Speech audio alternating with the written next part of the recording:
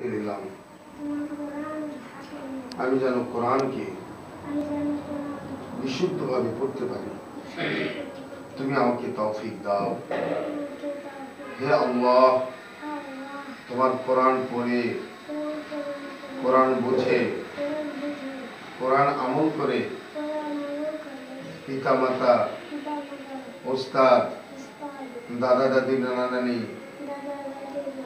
সহ কিয়ামতের ময়দানে আমি যেন পার হয়ে আমি যেন যেন ফুলসেরাতের পুল পার হয়ে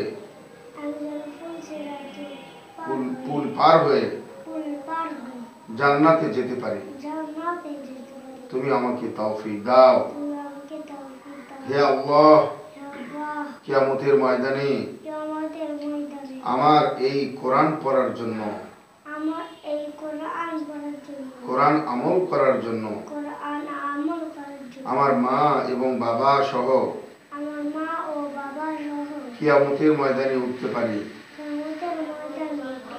এবং এবং মা বাবাকে মা নূরের মুকুট পরিধান করে দিও। নূরের মুকুট পরিধান করে দিও। এবং জান্নাত দিও। আমিন। আমিন। বুকে নাও।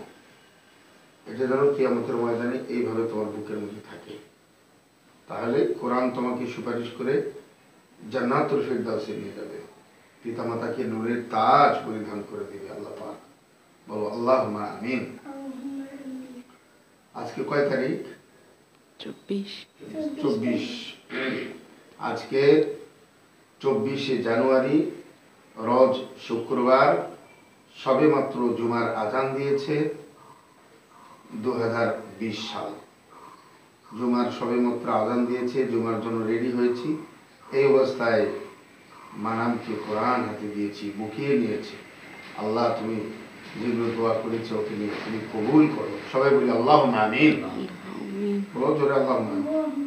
আচ্ছা।